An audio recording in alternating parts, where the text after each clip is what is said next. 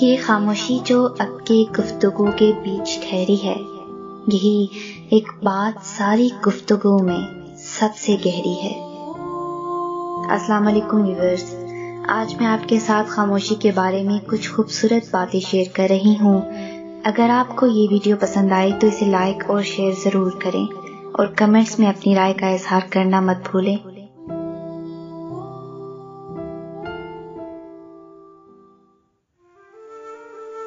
جب درد حد سے زیادہ بڑھ جاتا ہے تو انسان روتا نہیں، خاموش ہو جاتا ہے۔ ہنسنے ہنسانے والے اچانک خاموش ہو جائیں تو ان کی خاموشی سے سکون نہیں، خوف آتا ہے۔ کبھی کبھی الفاظ سے بھی کہیں زیادہ دوسرے بندے کی خاموشی تکلیف دیتی ہے۔ کسی کو اذیت دینے کے بعد اس کے صبر اور خاموشی سے ڈرو۔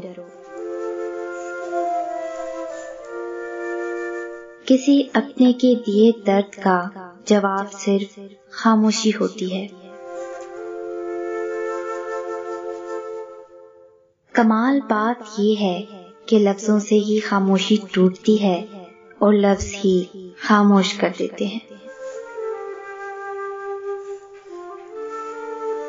ہر خاموشی ہاں نہیں ہوتی، کوئی گلا بھی ہو سکتی ہے۔ دھیان رہے کہ روٹھی ہوئی خاموشی سے بولتی ہوئی شکایتیں اچھی ہوتی ہیں۔ کچھ باتوں کا جواب صرف خاموشی ہوتی ہے اور خاموشی بہت خوبصورت جواب ہے۔ ان کی خاموشی سے ڈرو جن کا آپ نے دل دکھایا ہے، کیونکہ اگر انہوں نے کچھ کہا نہیں یا کیا نہیں، تو بدلے میں اللہ ضرور کرے گا۔ خاموشی عظیم نعمت ہے۔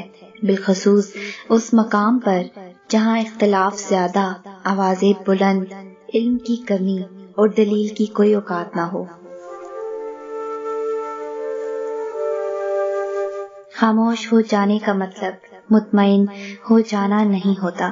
اس کا مطلب یہ بھی ہو سکتا ہے کہ آپ سر ٹکرا ٹکرا کر تھک گئے ہیں۔ خاموشی سے کی گئی دعا اور محبت دونوں بہت طاقت رکھتی ہیں۔ وہ اللہ ہی تو ہے۔ جو دل کی خاموشی کو بھی سمجھ لیتا ہے۔ جب اندر تک گہری خاموشی چھائی ہو، تو باخدا خاموشی کے سوا ہر آواز تکلیف دیتی ہے۔